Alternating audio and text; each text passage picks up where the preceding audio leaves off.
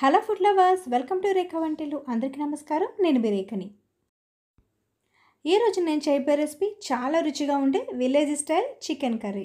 So ఈ విధంగా chicken curry చేసుకుంటే ఇది రైస్లోకి బాగుంటుంది అండ్ చపాతీ రోటీలో కూడా చాలా బాగుంటుంది. చేయడం కూడా చాలా ఈజీ. సో ఈ చికెన్ కర్రీ ఎలా ప్రిపేర్ చేసుకుందామో చూసే ముందు నా ఛానల్ కనుక మీరు సబ్స్క్రైబ్ చేసుకుని ఉండకపోతే ప్లీజ్ సబ్స్క్రైబ్ మై ఛానల్. పక్కనే ఉన్న బెల్ ఆకని మీరు ఎన్రోల్ చేసుకుంటే నా అప్కమింగ్ వీడియోస్ అన్నీ మీకు అప్డేట్ అవుతాయి. So let's start the process. కావలసిన ఇంగ్రీడియంట్స్ ముందుగా ఒక బౌల్లోకి ఒక అరకిలో చికెన్ బాగా వాష్ చేసి తీసుకున్నాను. దీనిలోకి వన్ అండ్ హాఫ్ స్పూన్ కారం వేసుకుంటున్నాను. దీనికి మన ఇంట్లో యూజ్ చేసే కారం అయితే బాగుంటుందండి. కూర కారం అంటారు కదా అది వేస్తే బాగుంటుంది. దానిలోకి కూరకు సరిపడే ఉప్పు కూడా వేసుకోవాలి. అండ్ కొంచెం పసుపు కూడా వేసుకొని వీటినన్నిటిని బాగా కలిపేసుకోవాలి. ఈ కారం ఉప్పు పసుపు ముక్కలకు పట్టే విధంగా మనం హ్యాండ్తో కలుపుకోవాలి. ఈ విధంగా కలుపుకున్న తర్వాత దీన్ని ఒక ఫిఫ్టీన్ మినిట్స్ పక్కన పెట్టేసుకోవాలి. తర్వాత మసాలా దినుసులు జీలకర్ర గసగసాలు ధనియాలు యాలకులు దాచిన చెక్క లవంగాలు అల్లం వెల్లుల్లి ఇవన్నీ తీసుకొని ఒక మిక్సీ జార్లో వేసుకొని వీటిని ముందుగా గ్రైండ్ చేసేసుకోవాలి. కొంచెం వాటర్ యాడ్ చేసుకొని వీటిని మెత్తని పేస్ట్గా గ్రైండ్ చేసుకోవాలి. గసగసాలు చికెన్ కర్రీకి చాలా టేస్ట్ని యాడ్ చేస్తాయండి. ఈవెన్ విలేజ్లో కూడా చాలా ఎక్కువగా యూజ్ చేస్తూ ఉంటారు. వీటిని ఒకసారి మిక్సీ పట్టుకున్న తర్వాత వీటిలోకి చిన్నగా కట్ చేసి పెట్టుకున్న ఆనియన్స్ వేసుకొని వీటిని మళ్ళీ మిక్సీ పట్టుకోవాలి. సో ఈ విధంగా మనం మెత్తన పేస్ట్గా మనం మిక్సీ పట్టుకొని పక్కన పెట్టేసుకోవాలి.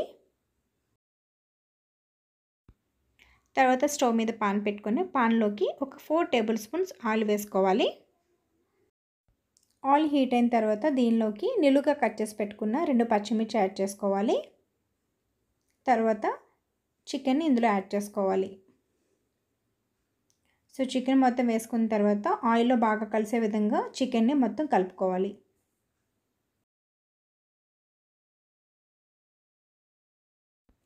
సో చికెన్ ఒకసారి బాగా కలుపుకున్న తర్వాత దీని మీద మూత పెట్టుకుని ఒక టెన్ మినిట్స్ దీన్ని మీడియం ఫ్లేమ్లో కుక్ అవనివ్వాలి. సో టెన్ మినిట్స్ తర్వాత చూసుకుంటే చికెన్లో ఉండే వాటర్ కంటెంట్ అంతా బయటకు వచ్చేస్తుంది. మీరు అప్డేట్ చేస్తే ఇందులో వాటర్ కనిపిస్తుంది కదా? సో ఒకసారి బాగా కలుపుకొని మళ్ళీ మూత పెట్టుకొని ఇంకొక టెన్ మినిట్స్ దీన్ని మళ్ళీ కుక్ అవనివ్వాలి. సో టెన్ మినిట్స్ తర్వాత మనం ప్రిపేర్ చేసుకున్న మసాలా ముద్దను ఈ చికెన్లో వేసేసుకోవాలి.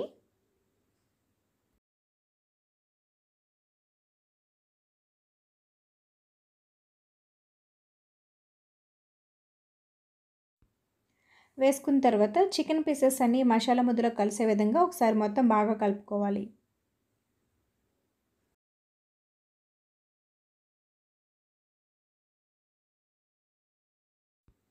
బాగా కలుపుకున్న తర్వాత దీని మీద మూత పెట్టుకుని ఒక టెన్ మినిట్స్ మీడియం ఫ్లేమ్లో కుక్ అవనివ్వాలి. సో టెన్ మినిట్స్ తర్వాత మనకి అపీరెన్స్ అనేది ఇలా వస్తుంది. ఒకసారి దీన్ని అంతటి బాగా కలిపేసుకోవాలి.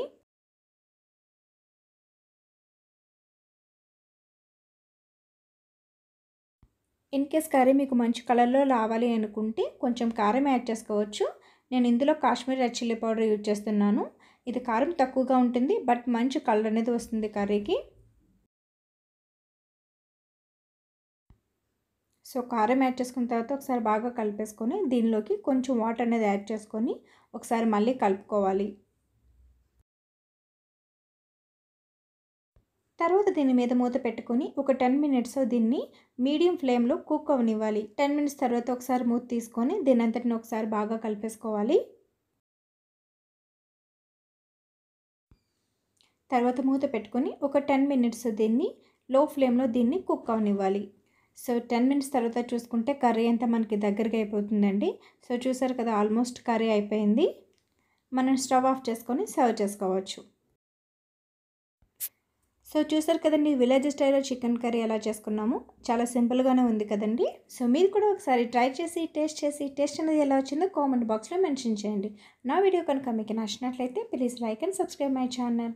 Thank you for watching. Bye all of you.